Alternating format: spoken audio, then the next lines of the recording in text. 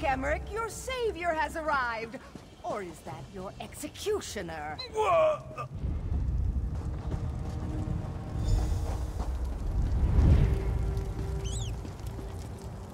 It's good that you're here, my friend.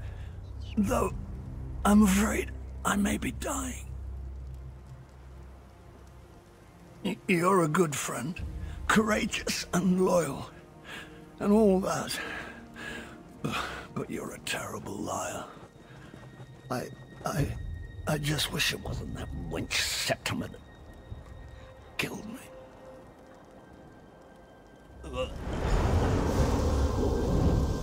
I suppose I must say goodbye, my friend.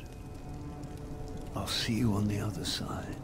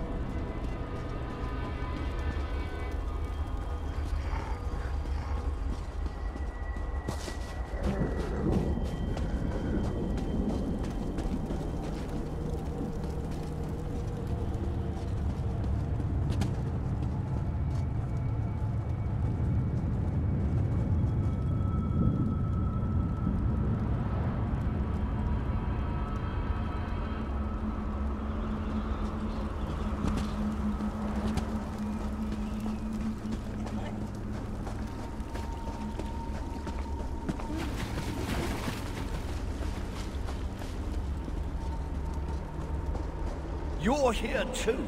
Can you get us back? It's quite pleasant here, but I'm not ready to die yet. We can't let them win. Hush now, Emeric. Your death matters little. There are other kings. It's this one I wanted. The one who's been holding the Covenant together at every turn. The vestige from Coldharbour. Didn't think I knew, did you? I did, and I knew I couldn't kill you. On Mundus. Here, though, you're severed from Coldharbour. From your soul. Here you're stuck. Goodbye now. Insolent necromancer! The far shores is no prison in which you can place your enemies. You dare to come here and then expect to live freely? I think not. You, though, are no less a fool. An honorable fool. Fool nonetheless. Hmm. Very well, though. I have an offer. Slay this wretched woman, and you and your liege can return to the Mundus. I'll leave whenever I damn well please. But I'll enjoy teaching you both a lesson in power first.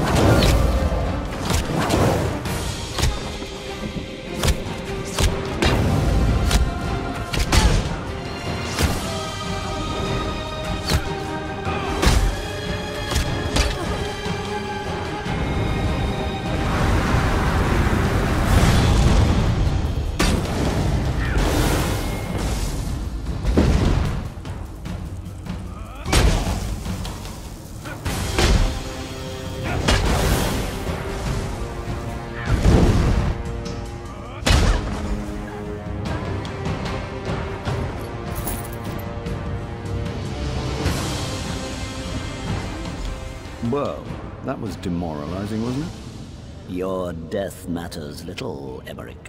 I can't believe she said that. I don't know, though. Is it true? That's a relief, I suppose. There's some part of me that wants to stay here, but I'd have regrets for all eternity, wouldn't I? Since I'm in the fortunate position of having a choice, I think I prefer you take me back.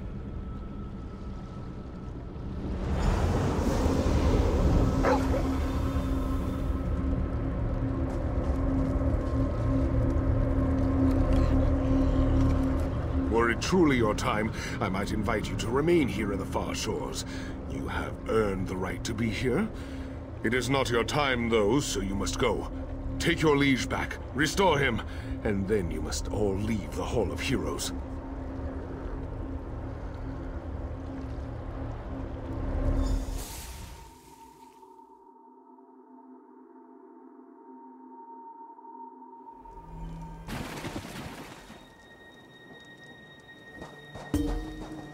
My cousin, my king, I'm sorry we failed you. I think I've run out of tears at this point. How could the gods allow this to happen?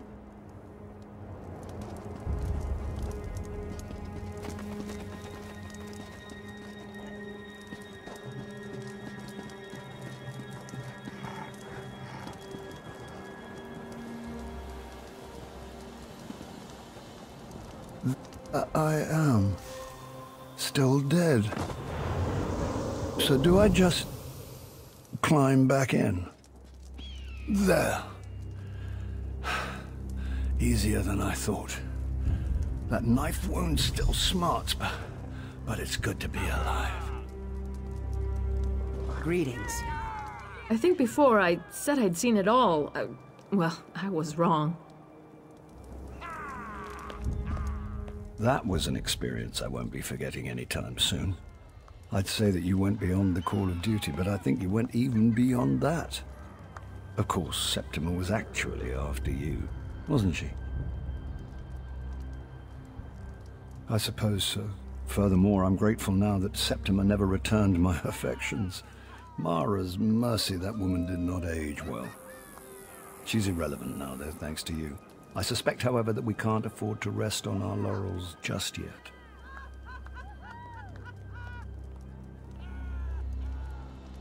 Truthfully, I think a few days' rest are well deserved on both our parts. Not at the seashore, mind you, but perhaps in Wayrest. Unfortunately, though, I am long overdue for an appointment, and as it happens, so are you. Vanus Galerion of the Mages Guild requests your assistance. Recent events have made it clear that Molag Bal has dark plans for our world. Vanus believes it is time to act. He seeks to take the battle to Coldharbour. My agent Copper Doria is with him now at the Daggerfall Mages Guild. I need you to go there, act as my eyes and ears, and speak on my behalf. Will you do this?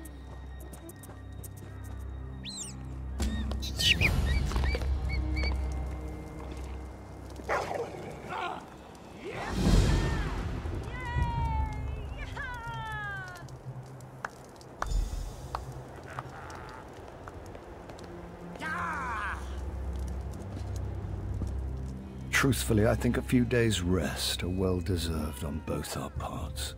Not at the seashore, mind you, but perhaps in Wayrest. I think before I said I'd seen.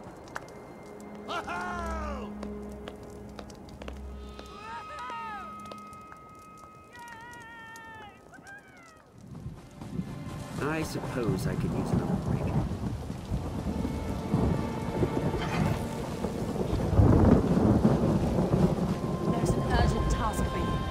timing is impeccable.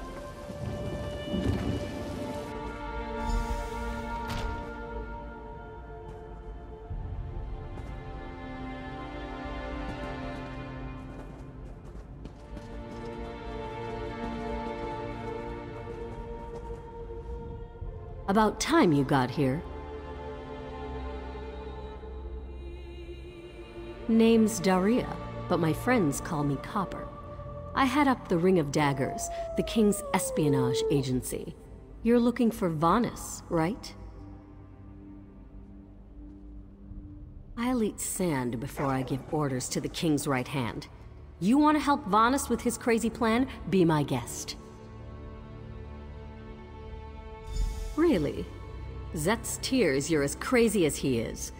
I better get to work then. There are a lot of preparations to make. Vanus should be here shortly. I'll let him give you the details. Also, you owe me 10 gold. I'll collect later. So, what's the bet? A hundred gold says there's an attempt on our lives within the week. That's a sucker bet. The hidden armigers have hit us at least once a week for the past three months. All right. 300 says that when the Dominion spies contact us, it'll be Cariel, not Razum-dar. Cariel? That wench knows better than to show her face around me. Mark my words, I'm going to have to hunt her down to slit her And throat. And after you do, that 300 gold will buy you enough ale to celebrate for a year. I'll take that bet. And share the ale if you win. Let's go. We have a lot of work to do. Apologies for my lateness.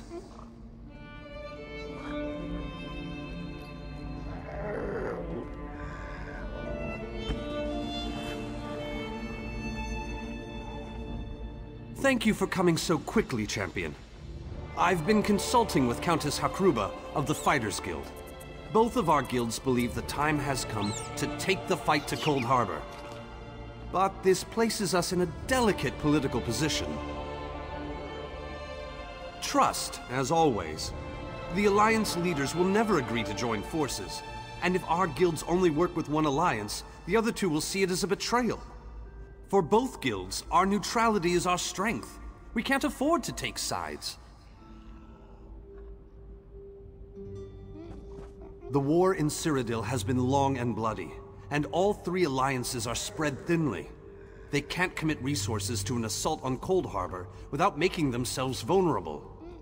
I want to bring all three leaders together, maybe cut a deal. You're in a unique position. You can speak with authority, but you're not an Alliance leader. You're respected, you have a reputation. They may let you get a word in before they leap at each other's throats. In short, you're the perfect diplomat. I found the perfect meeting place. A neutral location far from disputed territories, an island called Stirk. I can get you an audience with each leader and provide magical transportation. You just need to convince them to travel to Stirk. That's all I ask. I'll open the portal. I think it's best that I travel with you and make introductions as a neutral party. That might make things easier.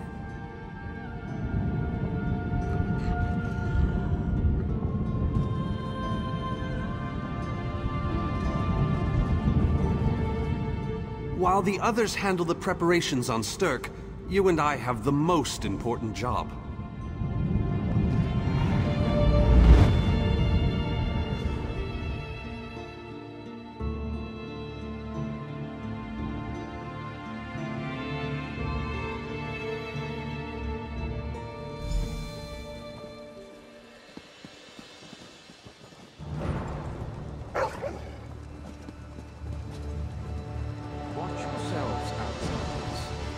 Give us a good reason and the Armigers will cut you down where you stand.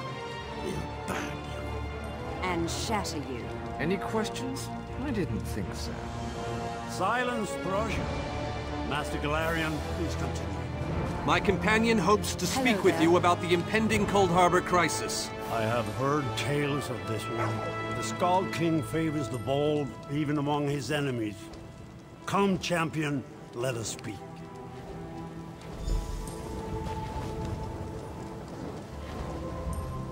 I will stay your execution since you came all this way.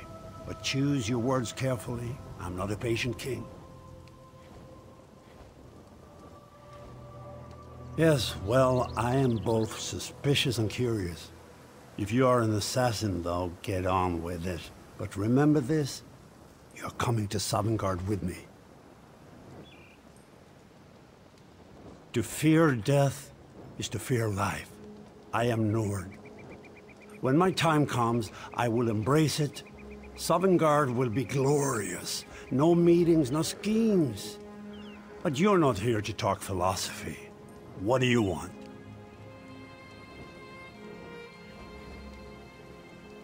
Who? The three alliances? Has magical travel rattled your brain? Speak plainly. What do you ask of me?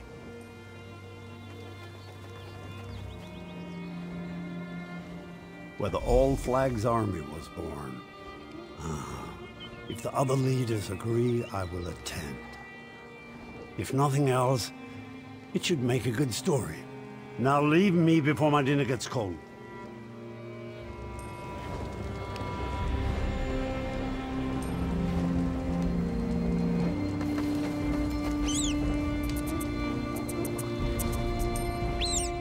That went well, I think. Shall we move on? Elden Root.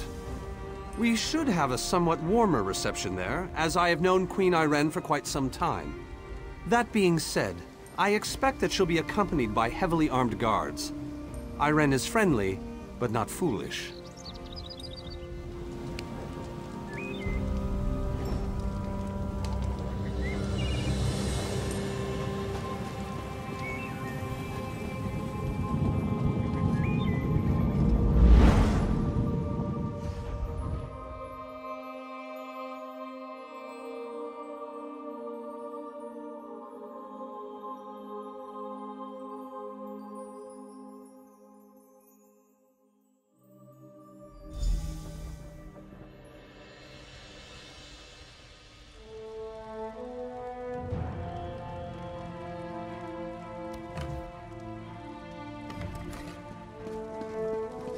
Greatly esteemed Queen Ayrenn Arana Aldmeri, it is my great honor to present to you... Vanus, you're so formal.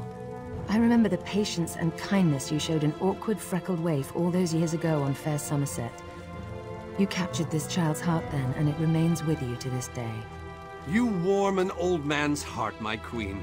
I remember well those halcyon days. As do I, my old friend. Sorry about all these guards. I'm told they're necessary. These are dark days. A wise precaution, my queen. My counsel would be no different. If you'll permit it, my companion would like to speak with you. Ah, yes. Let me meet this hero I've heard so much about. It's not often the heroic deeds of one who by all rights should be considered a mortal enemy reach my ears. Come, let's talk.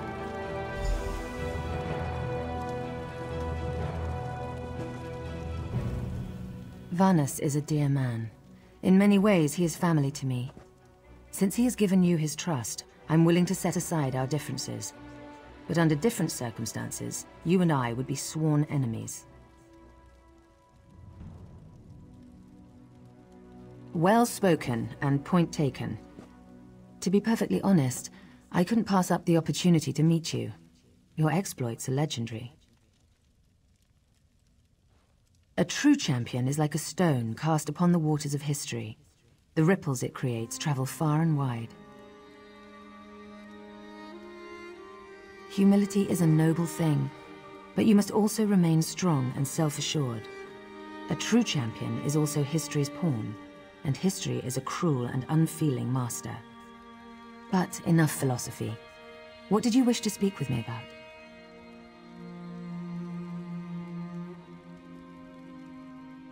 And you need all three of the Alliance leaders to attend this meeting? A bold suggestion. I like it. Very well. I make no promises with regards to the negotiations themselves, but I will attend. That much I promise.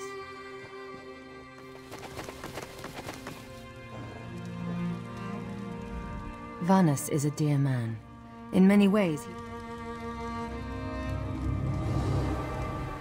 I didn't think it possible.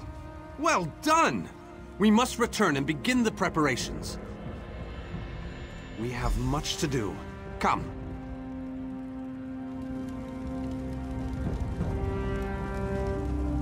Tell the lovely Cabernaria that this one looks forward to seeing her light figure in Raz, inappropriate. This one has no regrets.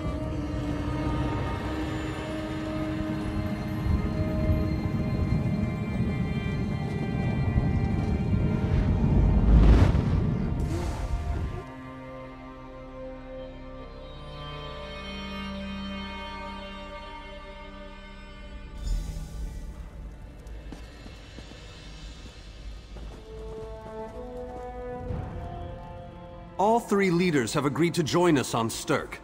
Now comes the tricky part. Individually, the leaders are rational, even reasonable. But get them together and... well, you'll see soon enough. Everything's been prepared. Are you ready to travel to the summit? Then, with your permission, I'll open the portal to Stirk. May Auriel's hand guide us all. The word has been given. A moment, please! I'll wait for you on the other side! Our representative, Captain Alfari, is in charge of security on Stirk. He assures us that all is well there, but keep your wits about you. Good luck.